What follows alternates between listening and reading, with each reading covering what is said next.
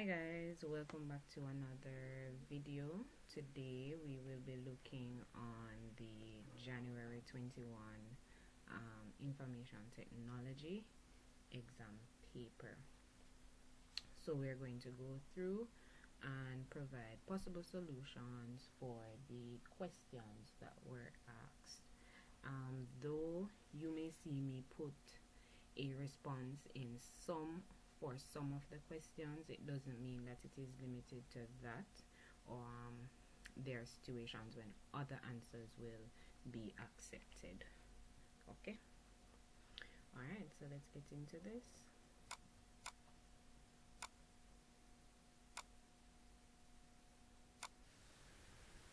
All right so this is the first um, paper two exams since the changing of the syllabus. Normally the paper 2 the paper 2 for January um, set the standard for paper 2 in June. Um, so the questions are structured a little bit different from what it is that we are accustomed to. So going into your exams for June or whenever can ensure that you read your questions properly because you have um, more time. You have the same time but you have less questions. Alright. So on your screen you're seeing question one. I'm not going to read the scenario. I'm going to look on the question. The question says state two reasons why a supercomputer is suitable for this project and the project is in the scenario above so right here we give the advantages of a supercomputer over any other computer basically. Once you give that you will get your marks. So we know that supercomputers are great for simulations and if it is that it's weather forecast you're going to look on the trajectory of um, of a earthquake the if it is that we were supposed to get a um, a hurricane, an earthquake, so it basically simulates the, um, the whole activity or what would happen if it is that it is a category 4, if it is that um, a 4.2 magnitude earthquake hits. So it is very good for simulations.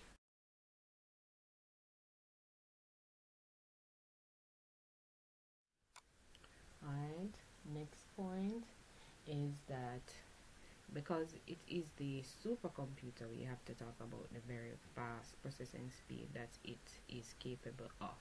Hence, it is that it would be more suitable or it would be very suitable to be used in weather forecasting.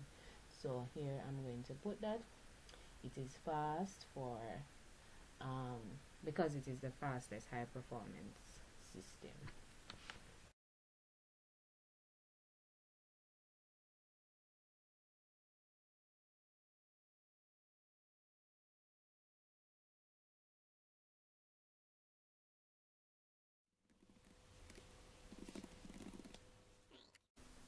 So moving on to part B of question 1.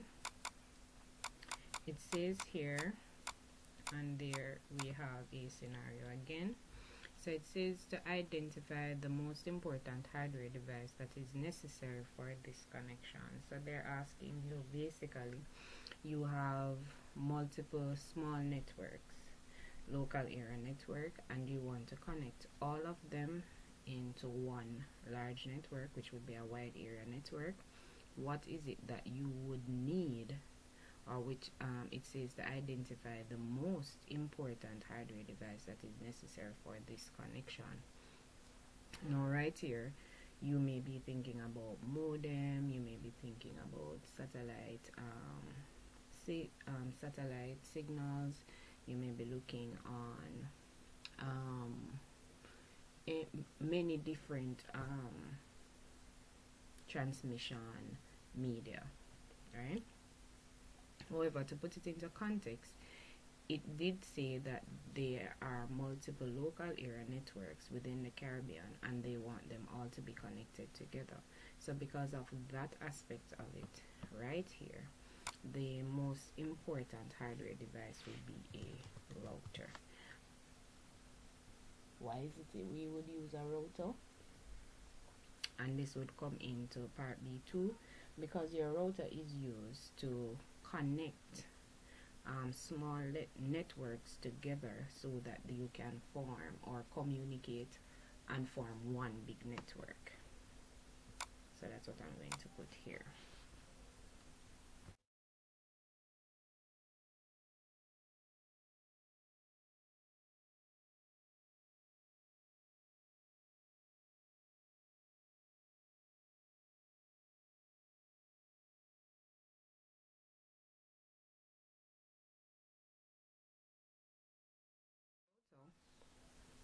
Being that it is going to connect um, the multiple networks together to form one will also work as a GPS system on your network. It will basically direct what the packets of data that is being sent by on the network to the correct location.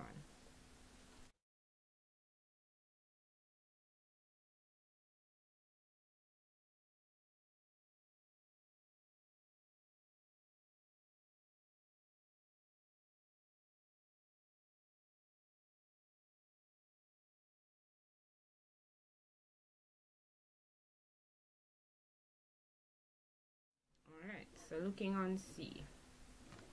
C stay, says to state two examples of industries other than weather forecasting in which supercomputers are still being used. Now, supercomputers are very expensive, so supermarkets not necessarily unless it is the type of supermarket like what Amazon is trying to set up or has um, set up already so for your supercomputers you'll find that it is used in pilot training for the same um, simulation exercise so instead of taking somebody and say it's not like driving a car where you can say brake gas um, you'd want to ensure that when someone goes into an aircraft to basically take off then they have the experience. So there are situations where pilots are trained using supercomputers where the simulations are real.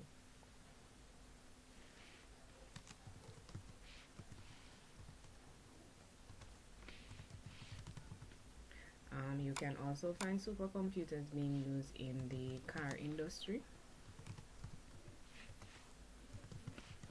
and it is used in the car industry to do virtual um, car safety test. Right because we can't be paying persons to go inside a vehicle and crash it to see what impact it would have. So basically they use the supercomputers again to do simulations and see how it is that certain things would pin out. Alright so that was question 1 A to C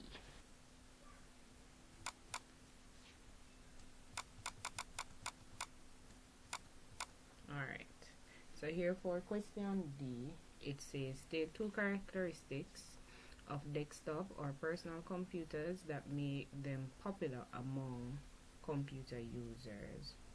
So we can look on the fact that your computers are less expensive right? So they're cost effective. We can look on the whole fact that you don't need training to use the, these types of computers we can use the fact that um, they don't take up large spaces and they are portable. Portable in the sense where you can move it from one place to the next. Um, desktop computers they are bulkier so in terms of traveling um, the portability aspect would be an issue. But in terms of you reorganizing your space it is portable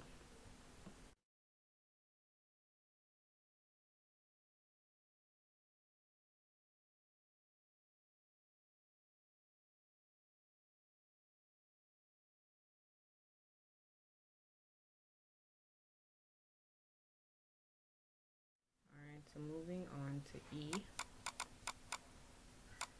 so E says to state two areas where desktop or personal computers are widely used. There's no way you should, if you see something like this, you should get it incorrect because computers are just taking over and basically anywhere you put would have been correct, I think. So we're going to look on homes, um, we're going to look on schools, you can see businesses or if it is that you want to narrow it down to a specific um, business right? You have hospitals etc all right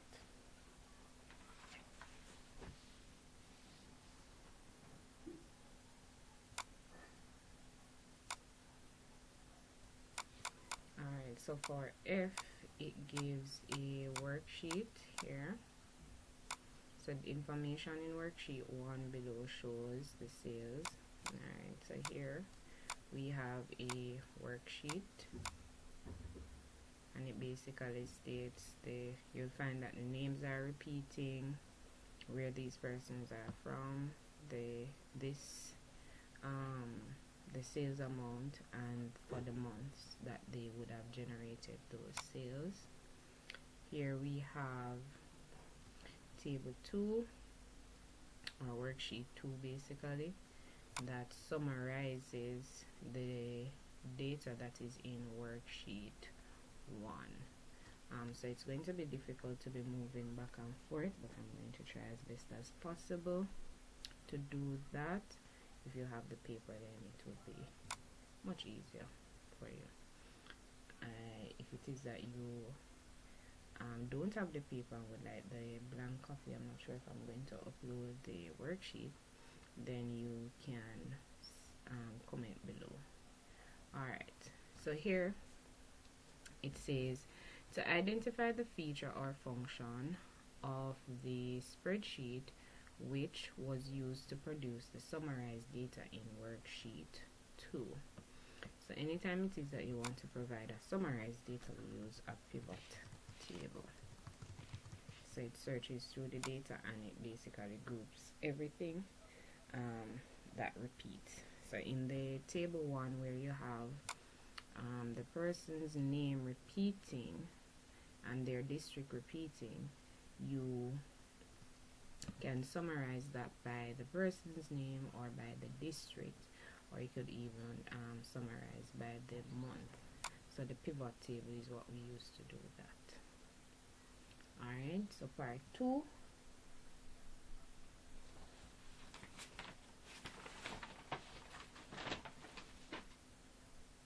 so part 2 says state the information that is provided when a value in the grand total row of worksheet 2 is double clicked.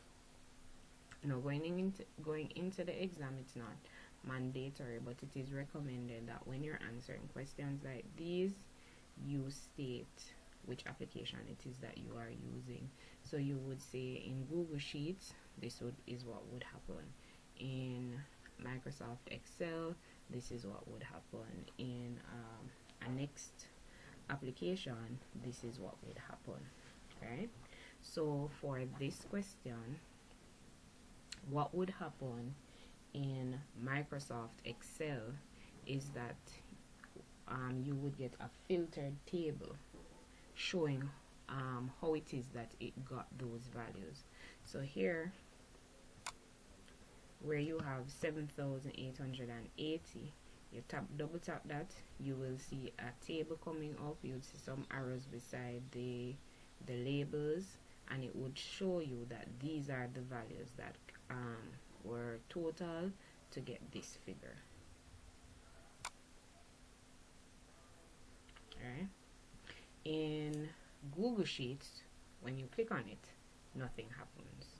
So for this question it depends heavily um, on which application it is that you're using. Hence, it is advisable, not mandatory, that once it is that you are writing the answers for these questions, that you just state that in this application this is what would happen. In that application this is what happens.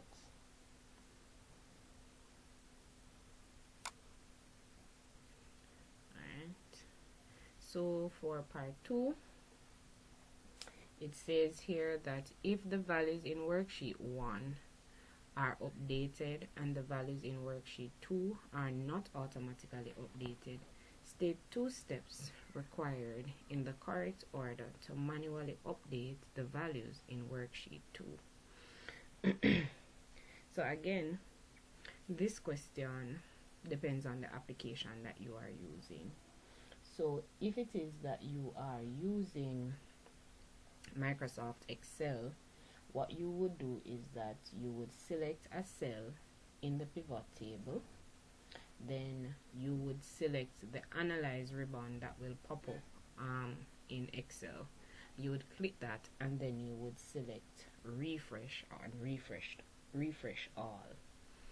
In Google Sheets what you would have to do is that whatever cell it is that you are updating. You would basically have to go through the process of basically clicking and dragging down the formula um, for it to be updated or you would have to do the whole process over again for um, updating to update it in Google Sheets.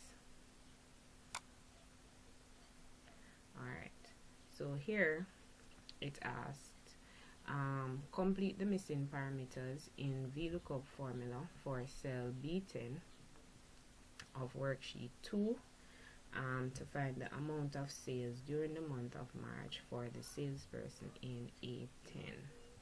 Alright, so let's go back to the question. So right here, it is saying now we should write the VLOOKUP in cell B10, which is right here um, to find the amount of sales for this person, which would be Clement Davis, for the month of March. Right, so we want the system to search this table and return 1600. Alright, All right, so this question says to complete the missing parameters in the VLOOKUP formula for cell B10, the worksheet. So as you know, the VLOOKUP function has four parameters. The first parameter is going to ask, or the first parameter should have the cell that you want to check for. Right? In this case, it is the name of the individual, and that was A10. So we're going to put A10 here.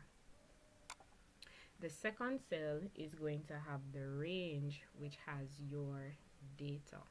So let us scroll up so here now the entire table from Albert Kathleen right to um, this 5240 that's your table.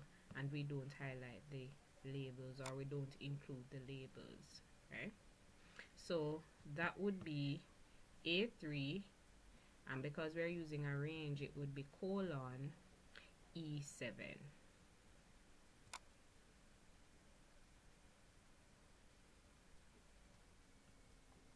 so again that is going to be a3 colon e7 good. Now the next part now is going to ask for the column number that we can find the information that we want to be returned. Now the question is asking for March his sales result for March. So here we have Clement Davis right? And it is saying for Clement Davis we need to return his March sales so we look at the labels. This is the first one, second, third, fourth, and fifth. And we put the column number for what we want to be returned. So because we want the information for March, we count from row label to March and tell what number this is. So it's going to be column 4. If I said row, that was an error. So column 4. So this is going to be your column reference and there we're going to put 4 and the last part is whether we wanted to return an exact result or something that is similar right? So because we're looking for this person we don't want any information that might include some letters we're going to write the word false. True let's say there are sometimes when you're searching through your phone or whatever and you would put in AT and you realize that everything with AT comes up right? If we wanted something like that we would put true. But because we want an exact match we're going to use the word false. So V says to state the change that would be made to the to parameter 3 which is right here in order to obtain the grand total for the salesperson um, in cell A10 so the grand total is this column. So what we would change is we would change it from column 4 to column 5 and that's all you would right there. So right here? Um, parameter 3 would change from 4 to 5 and that will oh sorry 5 and that would have given the additional mark there. Alright so we're now at question 2 alright so here again we have another scenario and this is the approach that CXC is taking for IT where most of your questions are scenario based and it is going to test from multiple sections of the syllabus. The, you will read the scenario and we will go through the questions. Right. So right here it says list the four basic components that each computer system should have. Now we know that our computers are used to do four main things, right? We use it to accept data, we use it to process data, we use it to store data, and we use it to output data. So this now would encompass the components. What do we use to accept data? We would have input, right? what do we wouldn't use the name that we would use for processing we would write that back so it would be processing um, storage.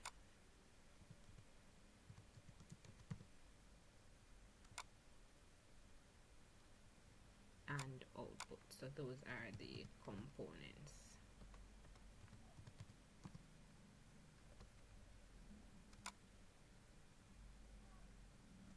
And four basic components of the computer system. So while it is that we may use the computer to do other things, these are the four basic. So this part asks, J listed a number of specialized peripheral, de peripheral devices that will be required. Complete the table and indicate the category. So here above, we would have stated the four components from the four components, where where would the joystick, where would the scanner fall? Would it fall at input? Would it fall at processing? Would it fall at storage? Would it fall at output? So as you know, joystick is used for input. And so too your scanner.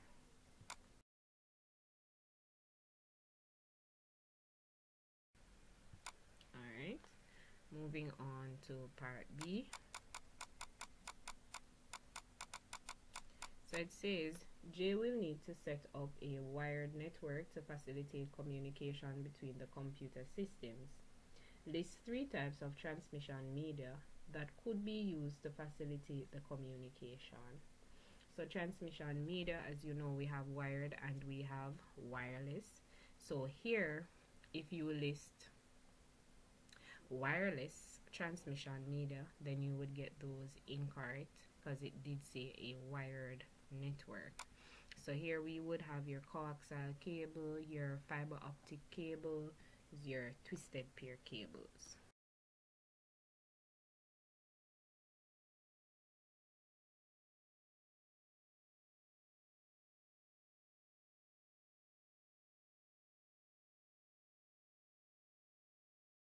Good.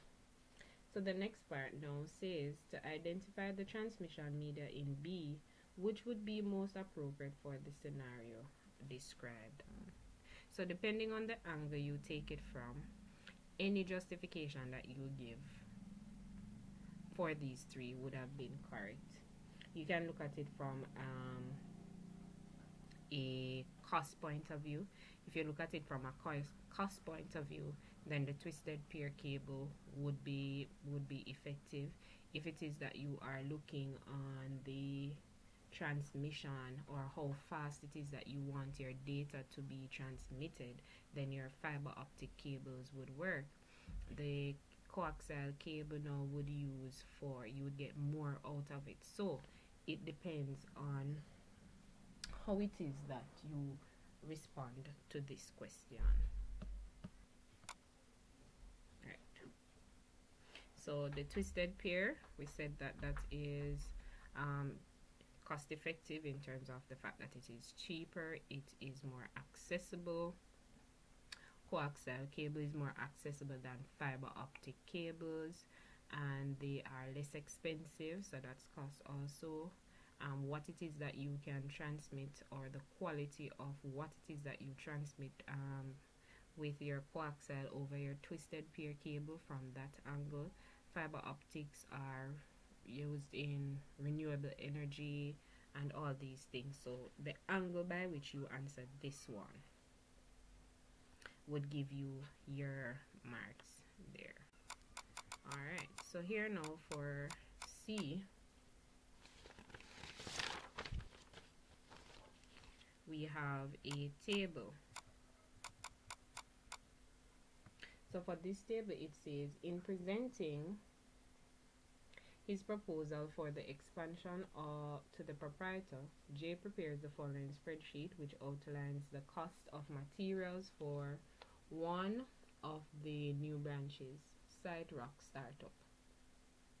So your spreadsheet here, it will show the list of items that he's requiring and the cost and the amount for each item here.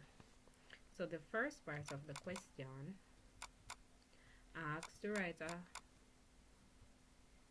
so let us look at it while I read it. So it says to write a formula which is required to calculate the total cost in each of the following cells. So what formula would you put in cell D4?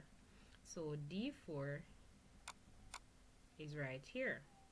What is the formula that you would put here? And so obviously we need to calculate what would be the total cost to acquire tables which would be type 1. So we're going to multiply these two. So it would be your equal sign B4 times C4. Let us write that in this section. If you put if you don't put your equal sign, you're you will not get your full mark. So the first thing is your equal sign and you're going to put B4 times C4. I'm assuming if you use the product function, you possibly could get your mark there also. So it says here in D14. So in D14, let's go back and look. So here we have D14 and that's right here. So it means that we need to calculate the total for this column starting from starting from D4 to D12. So you could use the sum function here or it is that you could use the long method.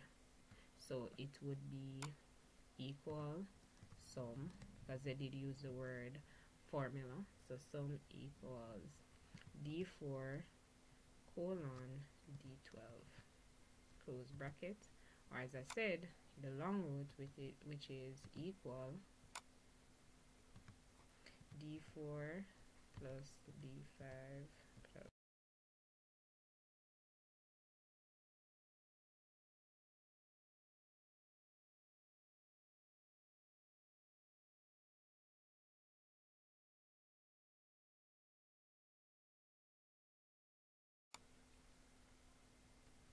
So part D says To improve the presentation of the document, J formatted cell A1 across all columns as shown in spreadsheet.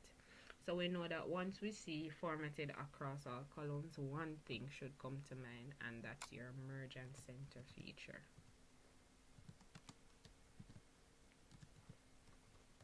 Merge and center or merge cells in um, Google Sheets. Part 2 says to list the steps taken by J to, in the correct order to apply the formatting feature. So for this question, it highly depends on which of the application you are using. If you are using Microsoft Excel, then it would be to highlight cell A1 to E1 then you would go to the home ribbon and then you would select merge and center in Google Sheets it is different. In Google Sheets you would have to highlight your cells then you would go to the menu um, you would select the menu option and then when you select menu option you would scroll and where you see merge horizontally and that is how you would do that in um, Google Sheets so for this question um, as we would have said before when you go into the exam ensure that you write for which of the applications you are answering for. It's not mandatory just recommended. Alright so moving on to the next question. E says to state the steps in the correct order required to create a formula to find the average of a range of numbers in a spreadsheet. Again, this depends on what it is that you are using. So for um and I guess for this option, for this option it, it is the same thing that you would do in um, Google Sheets also. So I can write the answer for that one. So one, um, step one would be to make the cell active. So you have to select which cell it is that you are typing in your response in, right? So you click the cell, you see this thick black border around it, ready to accept your response or whatever it is that you're willing to type then step two it is that you would type equal and followed by the word average.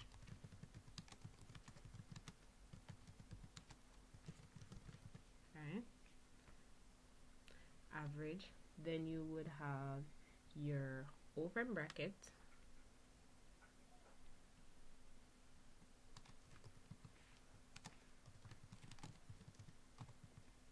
Your open bracket. Your starting cell address then you would have the colon sign or comma in some cases depending what you are doing. So um, or comma right? Then after that now you are going to have your ending cell address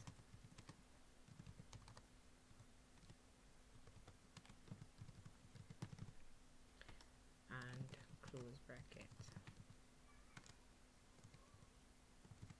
after it is that you have your closing bracket then you will select enter or you will leave the cell and that will show you the results for that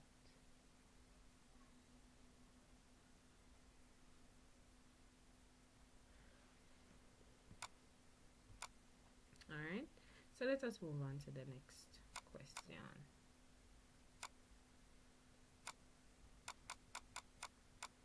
So we are now at question 3. Alright, so here we are for question 3.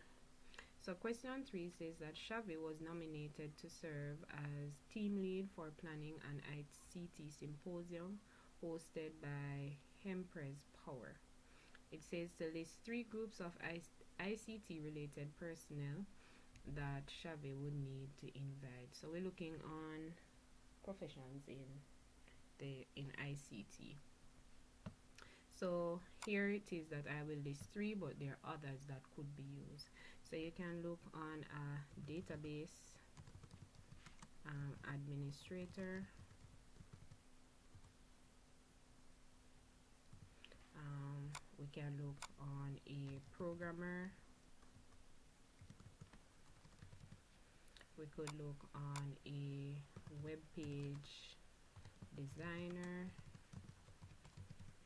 we can look on a system administrator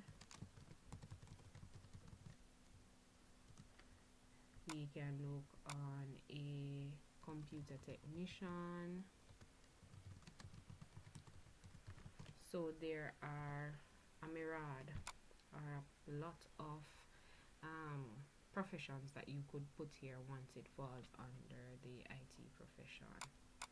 So here now it says state two ways in which the extensive use of ICT has positively impacted the field of business. Now, one such thing that could come to your mind is the fact that we are all shopping online. So it has boosted e-commerce so the whole e-commerce industry would have boosted. It has also enabled greater communication amongst suppliers through the whole um, emailing infrastructure. It has allowed you to in in terms of communication to reach more customers. So it has boosted businesses clientele. So that's two ways. It has it has boosted the whole um, aspect of outsourcing too because as you know the BPO sector is a major sector now. Um, not sure in all Caribbean islands but I know especially for Jamaica. So that would have also it has reduced and it has also improved or increased outsourcing for some companies right? So um they're in terms of them finding for ICT let's say for instance let me explain what I was saying there. For ICT if it is that they would normally send their devices to a technician to get their item serviced then in some cases they can hire they would have hired a technician to basically do that in office or within the business. So they need not outsource while it is that outsourcing has reduced in some areas some organizations have also increased their outsourcing because as you would have seen is that most um, some companies have their customer service being outsourced to other agencies instead of them doing it right? So it's the angle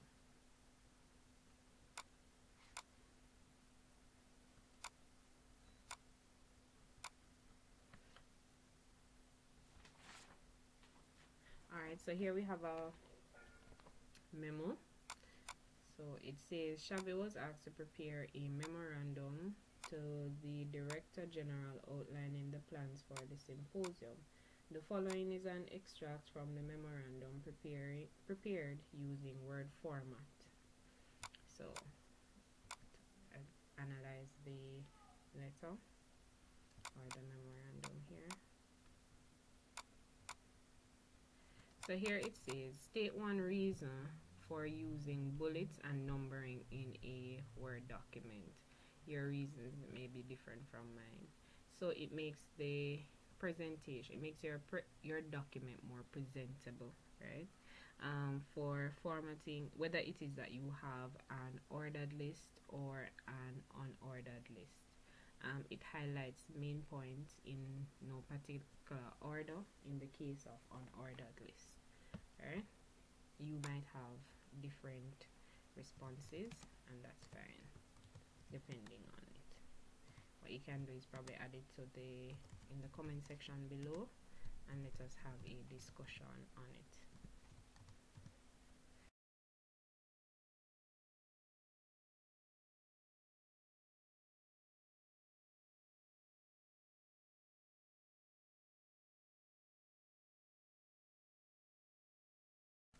so it says other than bullet numbering and numbering identify two formatting features use the extract using the extract from the memorandum. So let us go back to it.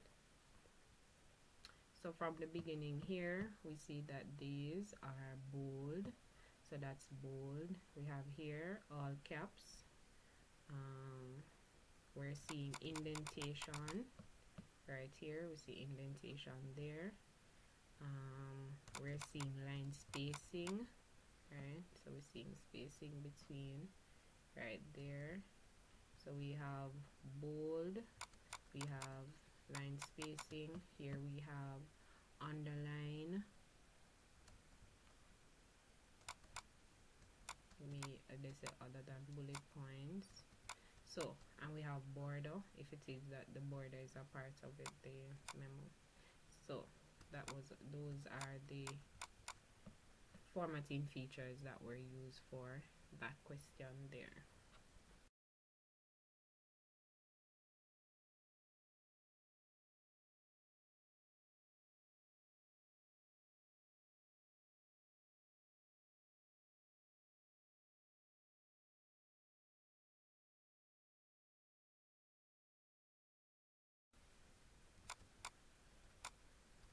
Alright, so it says describe how to position how the positions of paragraph 1 and 2 from the extract can be interchanged using drag and drop. So one you would need to highlight the paragraph 2. So highlight paragraph 2. Then now your next step would be to hold down um, so it's while you're holding or while you're pressing the right mouse button yeah right.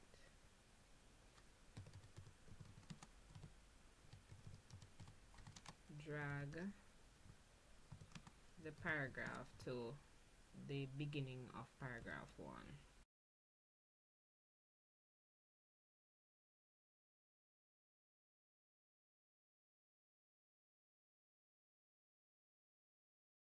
right and then you would release your mouse. So after you release your mouse you will find that paragraph 1 is paragraph 2 is now 1 and paragraph um, 1 is now 2 so it says describe the steps used to conduct spell check in a word document. So this that I'm going to write would be based um, would be you using Microsoft Word so step one we would have to select the review tab. Right or review ribbon in Microsoft Word. Right so after it is that you select the review ribbon then it is that you're going to select spelling and grammar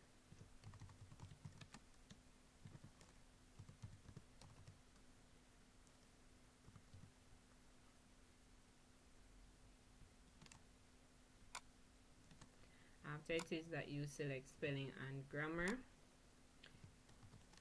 Then it is that you once it is that you select spelling and grammar what will happen now is that the system will highlight the errors within your um, your document based on the language that it is set to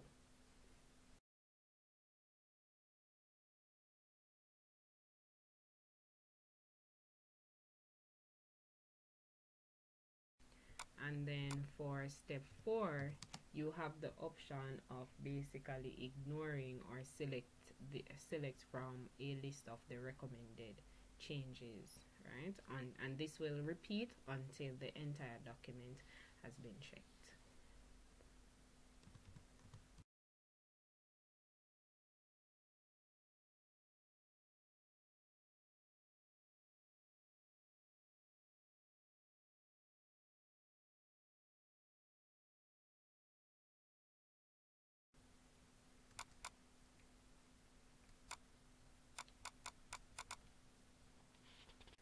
So now we're on to G. G is a pseudocode. So it says the pseudocode below will calculate and output the number of participants and the average age of all participants attending the IT symposium. The algorithm will terminate and display the output when an age of 999 is entered. Complete the following pseudocode by filling in the blank spaces labeled 1 to 10 with the most appropriate variables and or reserved reserve words. Alright, so here we have start, right? And it is saying these this is where we're saying giving these variables the starting value. So right here it says enter participants age so right here you could use the word write you could use the word print you could use the word display you could use the word output right? So i'm going to use write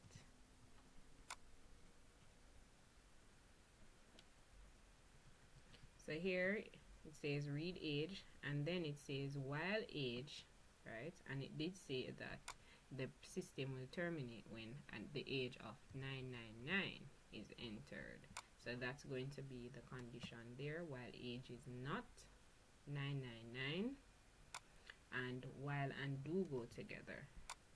So do. And we will execute that which is below. So here it is saying total is equal to total plus age count is equal to count plus 1 it says set a variable here which is total divided by count. And if you notice or if you remember it says that the system will calculate the average age of all participants. So right here we're going to set this to average. See right here average equals zero and we use back the same variable name. So we have that there as average. Um, because this is algorithm it really doesn't matter if it is that you use all caps or not. Um, if you want to stick within whatever it is that was given then you have that option. Alright so right here because we're in the while statement you know we have to put the prompt and input statement again to say once after this repeat this exact statement here so here now we are going to read age again. So enter another age or 999 to terminate the program. And right here we are going to end or loop which is end while.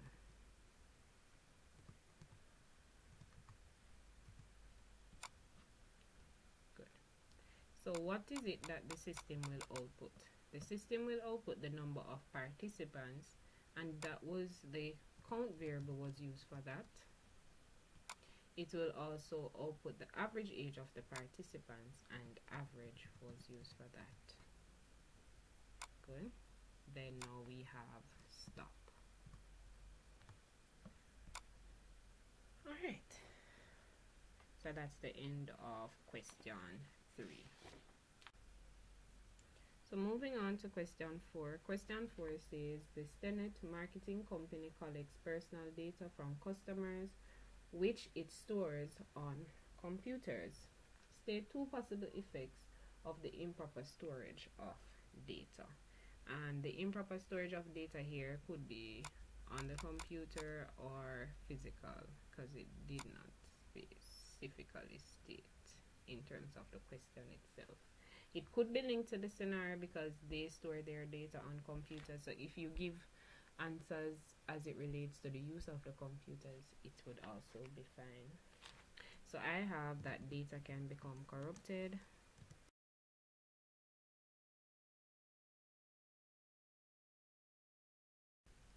I have the fact that data can be easily accessed and for some organizations not everyone need to have access to data.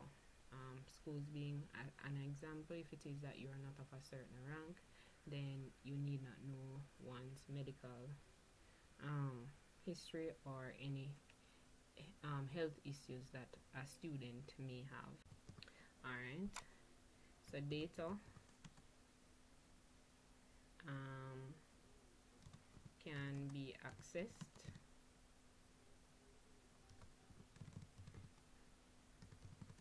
by the wrong persons. And it can also cause data to not be accessed. So because it becomes corrupt then basically you cannot access your data. So data cannot be accessed easily. Um, so in the sense also depending on how you store your data to can cause that issue there's also the issue of identity theft where persons um, can come in and steal certain information.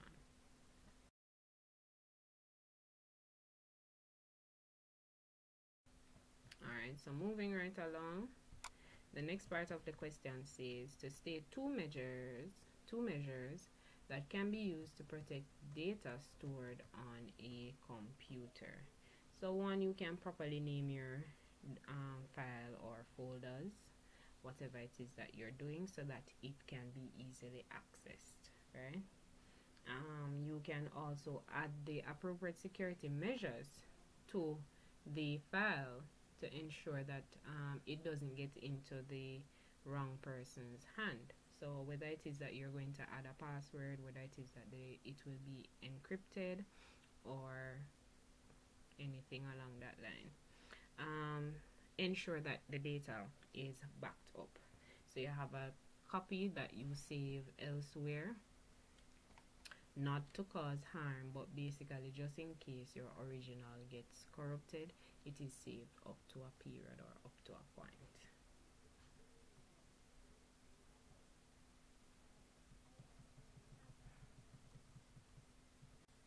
Alright, so 4b says to outline the function of the loop construct in computer programming. What do we use looping structures to do? So one, we use looping structures when it is that we have a particular block of statements that we wish to be repeated or looped a specified or an unspecified number of times undetermined determined number of times right so like for your for loop your for loop we know how many times the, the, the this loop will occur. 10 times 5 times. So that would be determined.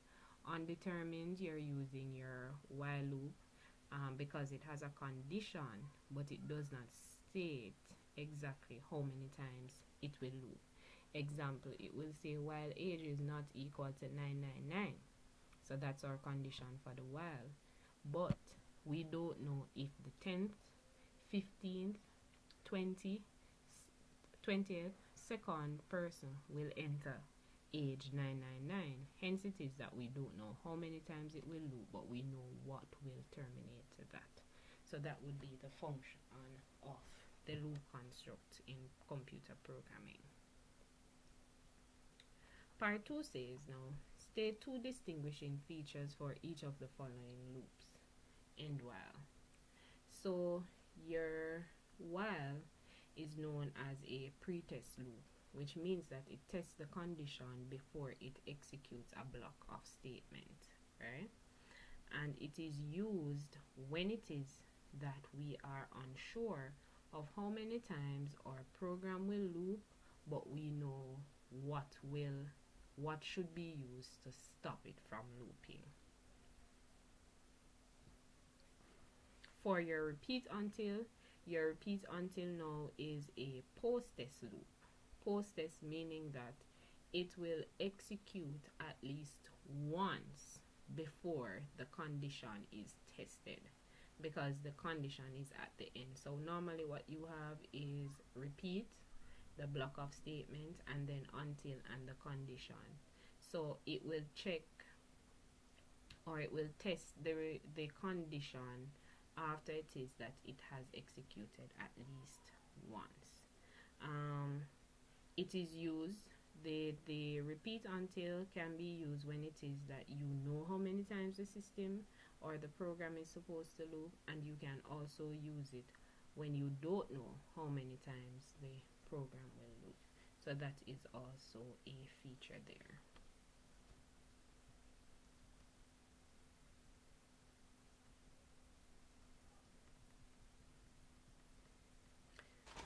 so here it says you are hired as a programmer by Stenet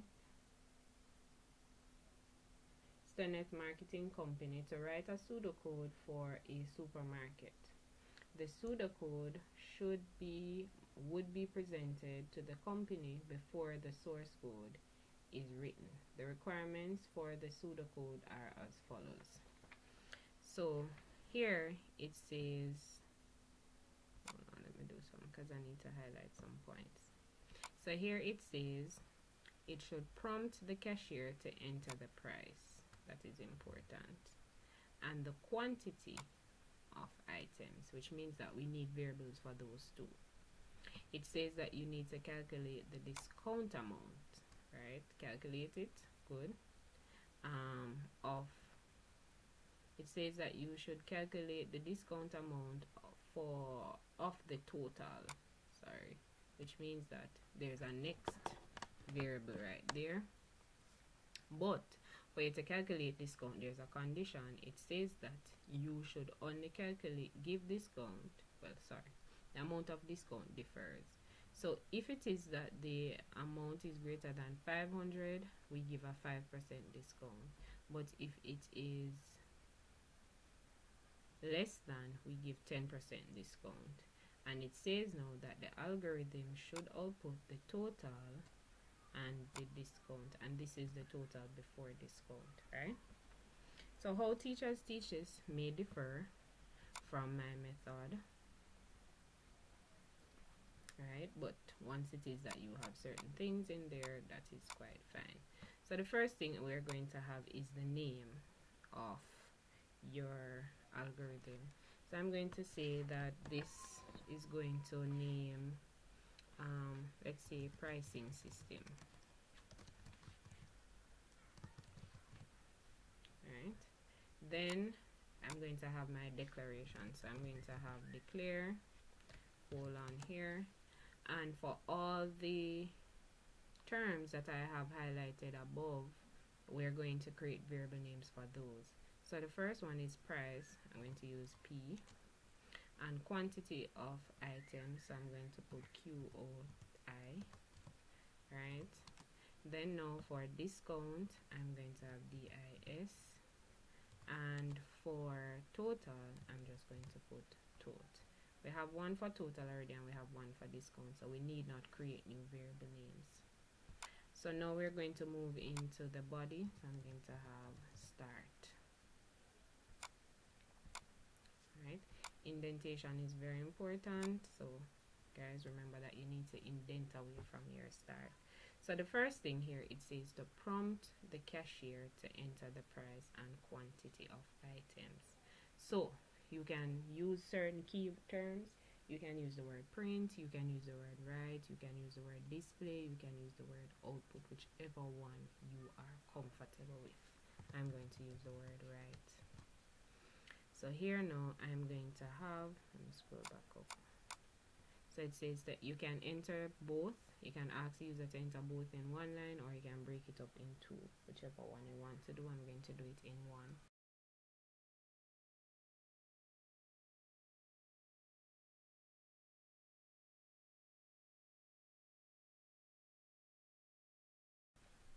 So your read statement will follow what are the variable names that we should use here. So we're going to have read and we use p for price comma and we use q u i. Q o i sorry. Q o i.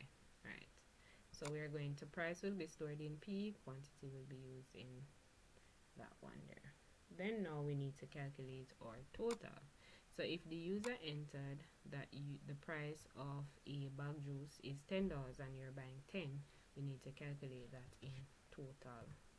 So total now is going to be equal to the price and the verb name there times the quantity which is Q O I.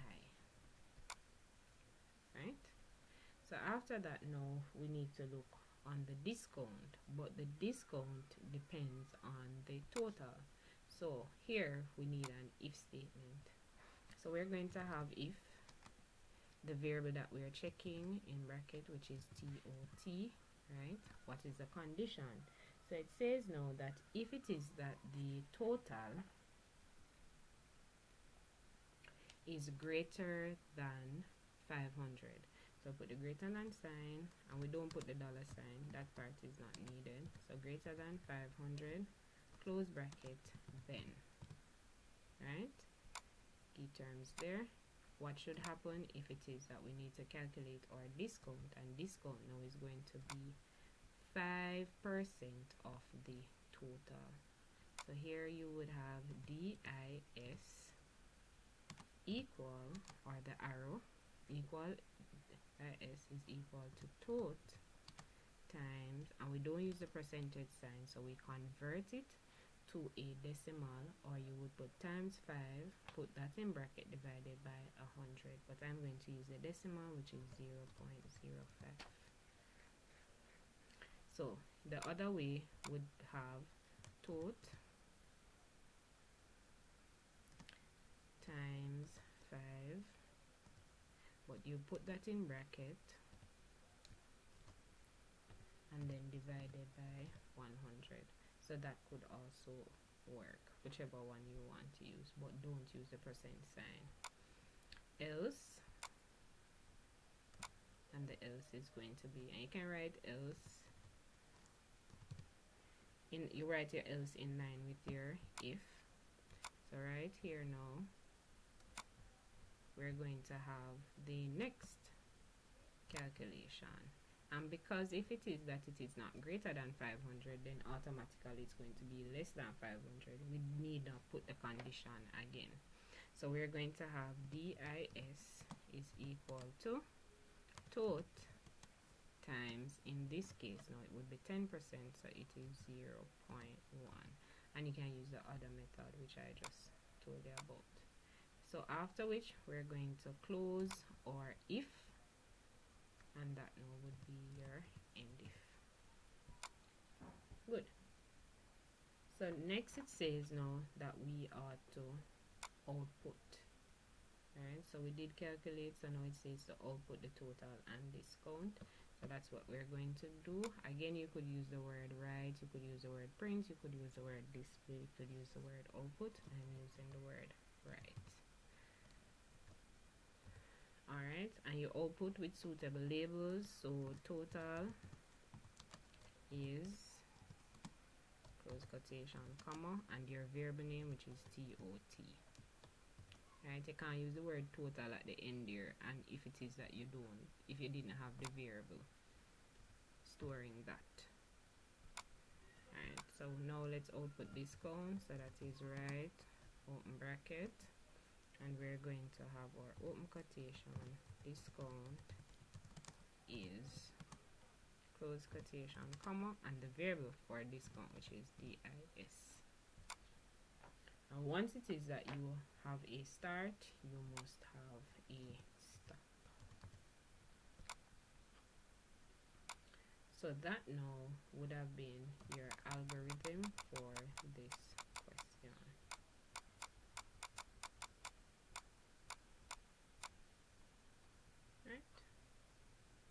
alright so let's move on to the last question. So here it says now question 18 write the pseudocode using nested if statements to do the following. If mark entered is greater than or equal to 70 then display the statement grade A. Otherwise if mark entered is greater than or equal to 60 then display the statement grade B. For all other marks entered display the statement grade not available. So we're not writing a full program or full algorithm here. They just want to see the extract.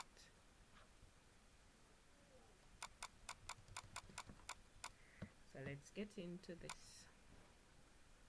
So here it says if and you create a variable that you want to check and in this case I'm going to use mark. You could use M or any shortened version so the first part says if it is greater than or equal to 70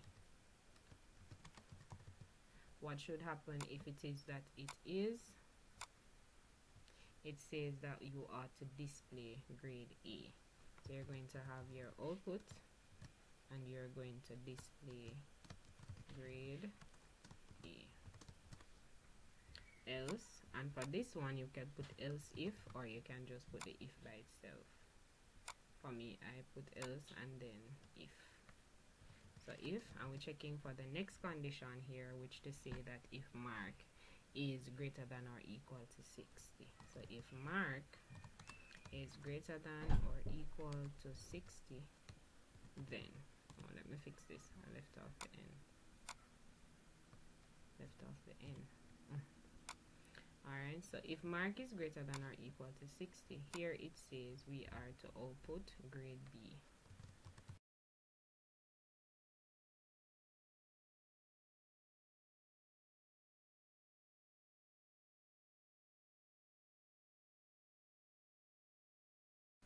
Alright, so else, it says here now that we should have else, and what should be outputted is that grade, grade not available.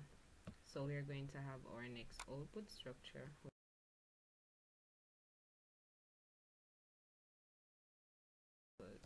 Right. So if for each if you have now you need to close your ifs. So we're going to close this one so try and have it lining up so that's end if and then the next if comes here so that would be your extract now for your um, nested if statement. Alright so we're now finished with the paper and we will look at other papers in the future before it is that you have your exam. I will try and upload more um, past paper questions. So if you have any questions please add them to the comment section below Thanks for watching and supporting the channel. Share, tell a friend to tell a friend. Alright, learning takes place over by Shelly-Ann James channel. Have yourself a good day now. Thank you. Subscribe, share, comment.